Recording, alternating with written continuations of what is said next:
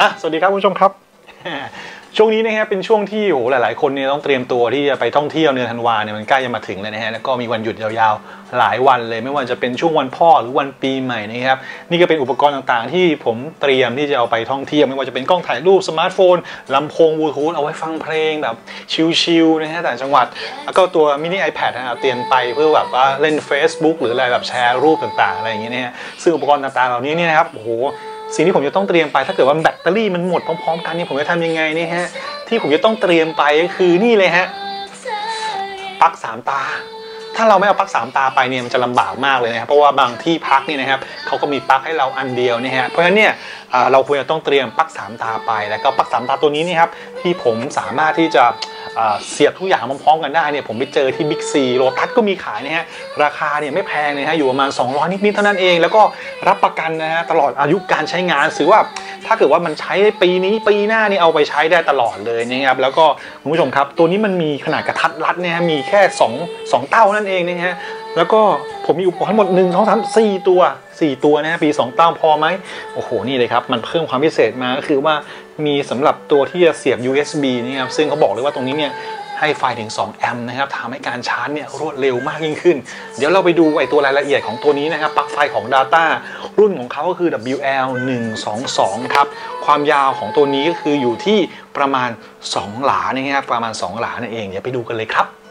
เอาละครับคุณผู้ชมครับ ปลั๊กไฟ 3 ตาตัวนี้นะครับมีขนาดประมาณ 2 หลานะครับรุ่นที่ผมเอามาแนะนำเนี่ยนะครับก็จะมีอีกรุ่นหนึ่งที่แบบเป็น 3 หลาตัวนั้นเนี่ยราคาจะอยู่ประมาณสัก 300 กว่าๆเนี่ย300ปลายๆนะครับแต่ผมมองว่าตัวนี้เนี่ยมันเหมาะกับการที่จะพกพาไปท่องเที่ยวต่างๆนะครับโอเคปลั๊กไฟ 3 ตาความพิเศษมันคืออะไร นอกจากการเสียบไฟแล้วนะครับ อันหนึงที่ผมรู้สึกได้ว่ายี่ห้อ Data นี่นะครับเป็นยี่ห้อที่ค่อนข้างที่จะราคาไม่แพงนะครับ ถ้าเทียบกับในท้องตลาดแล้วก็คุณภาพเนี่ย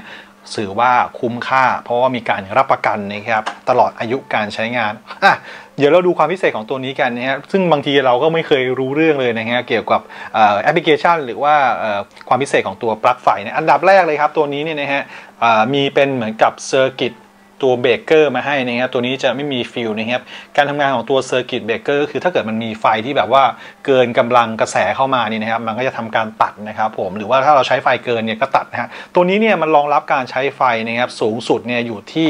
2,000 วัตต์นะครับตัว 2,000 วัตต์เนี่ยถ้าเกิดว่าอุปกรณ์ที่ชาร์จของเราต่างๆนี่นะครับ มันแบบว่าทั้งหมดประมาณที่ของผมเตรียมไปชาร์จนี่นะมันไม่ถึง 2,000 วัตต์หรอกนะแต่ถ้าเป็นอุปกรณ์พวกทีวีตู้เย็นอะไรพวกนี้วัตต์มันก็จะสูงนะครับมันสามารถที่จะทนได้ถึง 2,000 วัตต์แล้วก็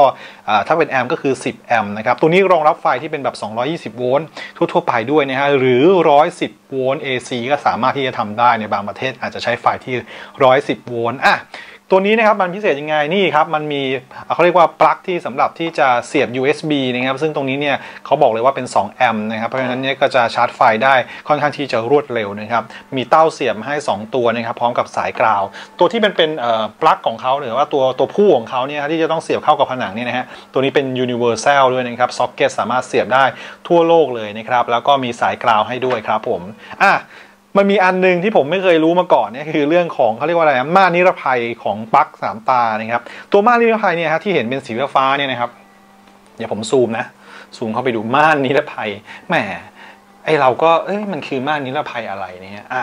ม่านนิรภัยนี่นะครับก็คือเขาเรียกว่าเวลาที่เราเขาเรียกอะไรมีเด็กน้อยหรืออะไรประมาณนี้นะครับตัวม่านนิรภัยเนี่ยถ้าเกิดว่าเราไม่ได้ใช้งานเนี่ยนะครับไม่ได้เสียบปลั๊กนี่นะม่านมันก็จะปิดอยู่แบบนี้นะฮะสีฟ้านี่เขาเรียกม่านนิรภัย เวลาเด็กน้อยเนี่ยเดินมาเออจะเอามือไปแย่อะแย่เข้าไปเนี่ยนะครับมันก็จะไม่สามารถที่จะถึงเขาเรียกว่าตัวที่เป็นจ่ายไฟนะครับทำให้ตัวนี้สามารถที่จะป้องกันได้นะครับ นอกจากนี้นะครับตัวนี้นะครับยังมีในเรื่องของอะไรอะเขาเรียกว่า search protection นะครับเขาเรียกว่าเป็นการป้องกันกระแสที่มันแบบว่าเวียงเวียงเวลาที่ฝนตกฟ้าร้องอะไรพวกนี้นะครับ ตัวนี้ก็จะมีระบบป้องกันตัวนั้นด้วยนะครับ แหมไม่น่าเชื่อว่าสายไฟ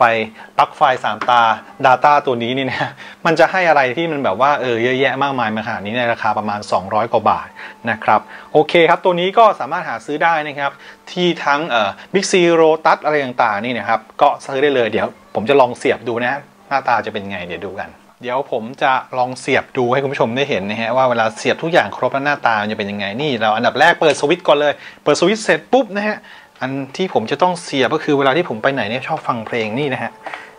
อันนี้คือตัวสมาร์ทโฟนของผมนะครับ เสียบเรียบร้อยนะครับ เสียบลำโพงบลูทูธของผมนะครับอะเปิดเสียงซะหน่อยโอ้ยฟินฟินเสียบอะไรอีกดีนี่ครับ iPad iPad นะครับ ก็เสียบลงไปแบบนี้นะครับ ผมปกติเลยนะครับ เสียบเข้าไปนะฮะโอ้ยโอ้ยโลกกิ้งโลกกิ้งเดี๋ยวเดี๋ยวเดี๋ยวเดี๋ยวเดี๋ยวโอเคนี่ครับ นี่ เสียบ iPad ด้วยนะครับกำลังชาร์จอยู่อ่าอีกอันหนึงที่สำคัญก็คือนี่ครับ แบตเตอรี่ของกล้องนี่ครับผมไม่งั้นเดี๋ยวไม่มีไปถ่ายรูปนะครับ เสียบ นี่ฮะนี่ครับ เต็มเต็มแบบนี้นะฮะ สบายๆเลยครับคุณผู้ชมครับ แล้วคุณผู้ชมก็ฟังเพลงไปด้วย แล้วก็รอแบตเตอรี่นี่ชิวๆแบบนี้โอ้โห แป๊บเดียวฮะเดี๋ยวก็เต็มแล้วครับผมอะแนะนำครับคุณผู้ชมว่าถ้าเกิดว่าอ่าก่อนจะเดินทางไปท่องเที่ยว หรือว่าอยากได้ปลั๊กไฟอะไรที่แบบว่าเก็บไว้ติดรถติดบ้านไว้นี่ฮะ ก็แนะนำตัวนี้เลยครับตัว Data นะครับตัวที่แบบว่ามีความยาวอยู่ประมาณ 2 หลา หรือว่า 3 หลาก็แล้วแต่คุณผู้ชมเลย แต่ตัวนี้เนี่ยราคามันไม่แพงไงมันอยู่ประมาณสัก230 240เนี่ยอยู่ประมาณนี้ไม่เกินนี้นะครับก็ลองไปหาซื้อใช้ดูอะสิ่งหนึ่งที่จำเป็นนะเวลาที่เราไปท่องเที่ยวครับ